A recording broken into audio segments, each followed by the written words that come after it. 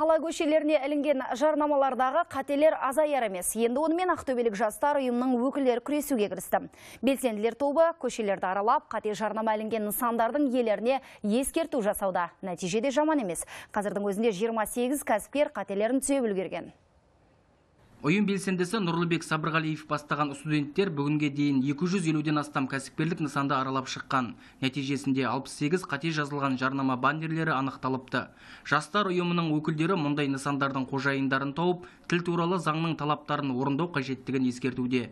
ауыл солтырып айтатындай қателіктер бар осыған қарап жанымыз ашыды күйіндік мен бізға жол беруге міндетті емеспіз дөңгелек жөндеу шиномонтаж деп жақсы аударды делік дегенмен де оны дөңгелекті доңғалақ жөндеу немесе распадаж деп қояды бірақ қазақша мәліметі жоқ Ақтөбеде жарымжан жарнамалардан бөлек коммерциялық нысан атауларының да қате жазылғанын жиі аңғаруға болады. Мәселен, мына жерде қазақтың ұлттық тағамы құлаққа жағымды естілетін бауырсақ сөзінің өзінде өрескел қате кеткен.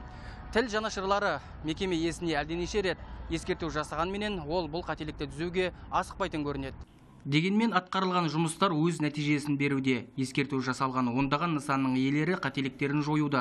Сондай-ақ ескірген немесе әріптері өшкен жарнамалардың да дер кезінде алмастырылуына мән берілуде.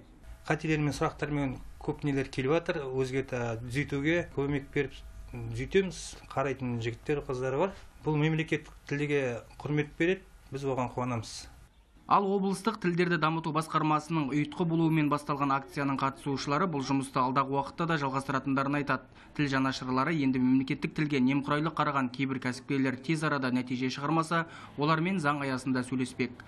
Жақсыбек Кемал, Бақытжан Едігеев, Қазақстан ұлттық телеарнасы, Ақтөбеден.